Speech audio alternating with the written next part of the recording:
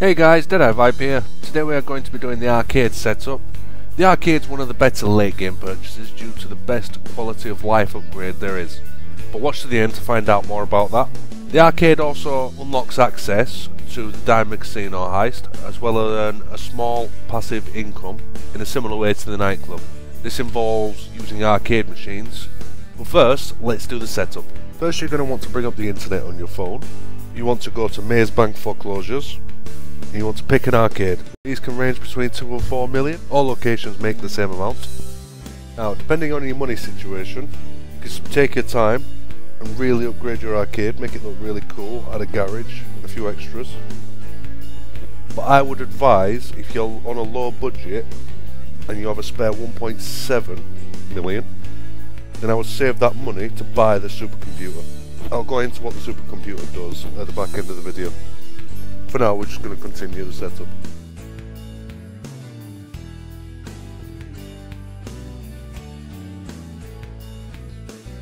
As with any setup, you're going to want to go to the yellow dot on your map. When you arrive, you'll trigger a small cutscene.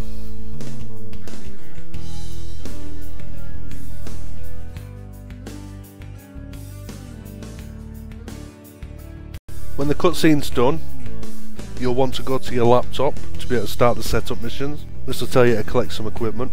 Always with these setups, they're all pretty straightforward. They usually drive to the destination, pick up the goods, and bring it back to base.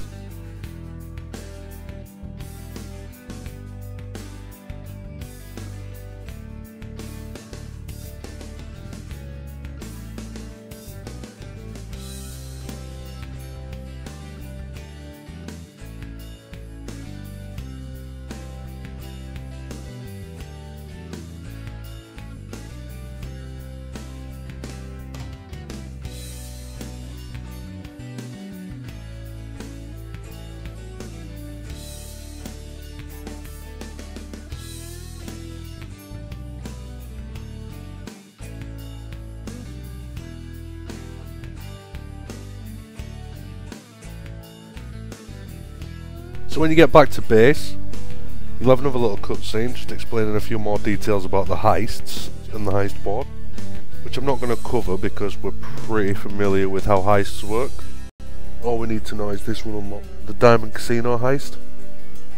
As you can see, the arcade is pretty bare and basic at the moment, that's because I've not bought any of the upgrades quite yet. You also have to do plenty of source missions to be able to source the arcade cabinets, the games themselves.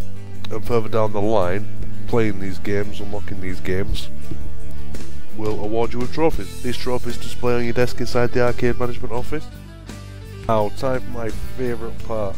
This is the reason why you want to buy the arcade once you have all the other businesses. The arcade has an upgrade called the supercomputer. Now what this is, is a mega computer that links all your businesses and all the laptops from each business into one place, meaning you can resupply, you could check up on your businesses, all from the comfort of the supercomputer in the arcade. Meaning you don't have to fly across the map now to all your different businesses to resupply. Now the only downsides to this supercomputer from what I can tell is it costs 1.7 million which is a hefty fee for an upgrade but you will make that money back within a day or two guaranteed because of how much time you're saving being able to use it to resupply all your businesses from one location without travelling.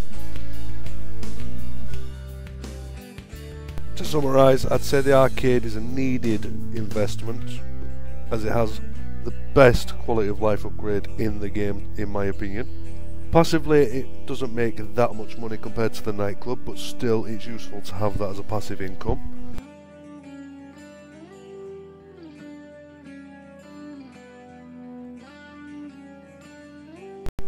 But yeah, this has been my guide on how to set up the arcade. Hope you enjoyed. Like and subscribe for more guys. I'll see you next time.